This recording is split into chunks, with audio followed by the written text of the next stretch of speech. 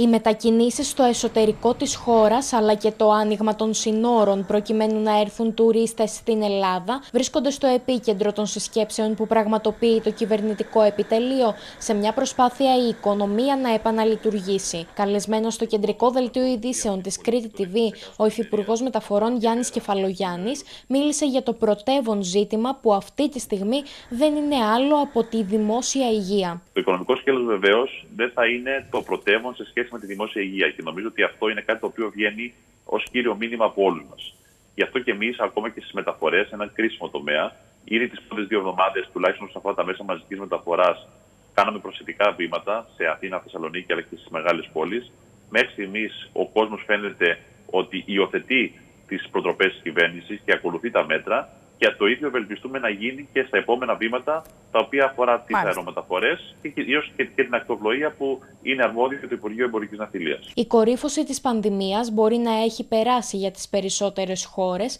όμως δεν είναι λίγες εκείνες οι περιοχές που ακόμη αντιμετωπίζουν τις σοβαρές επιπτώσεις του κορονοϊού. Σε ερώτηση για το αν θα υπάρχει αξιολόγηση ως προς το ποιους πολίτες θα δέχεται η Ελλάδα, ο κύριος Κεφαλογιάννης τόνισε να είστε βέβαιοι ότι δεν θα ανοίξουμε, αν θέλετε, τις μεταφορές εξωτερικού με χώρες που αυτή τη στιγμη ακόμα και τώρα αντιμετωπίζουν αυτό το, με, αν θέλετε, αυξημένο πρόβλημα. Θυμίζω μάλιστα ότι τη στιγμή που μιλάμε τώρα είναι σε ισχύ κάποιες νόταμ όσον αφορά τις αεροπορικές συνδέσεις με κάποιες χώρες που, όπως για παράδειγμα τη Μεγάλη Βρετανία ή την Τουρκία ή ακόμα και τη Γερμανία, όπου υπάρχει ένα μεγάλο πρόβλημα ακόμα και σήμερα και σε κάθε περίπτωση αυτό θα το αντιμετωπίζουμε βήμα-βήμα και ανοίγοντας τις μετακινήσεις και τις μεταφορές με τις χώρες αυτές όταν είμαστε απόλυτα βέβαιοι ότι δεν θα δημιουργηθεί πρόβλημα. Η οικονομία έχει πληρώσει το βαρύ τίμημα της πανδημίας, με τον Υφυπουργό Μεταφορών να σχολιάζει τις δυσκολίες ανάμεσα στην εξισορρόπηση της δύσκολης οικονομικής κατάστασης στην οποία έχει βρεθεί η χώρα,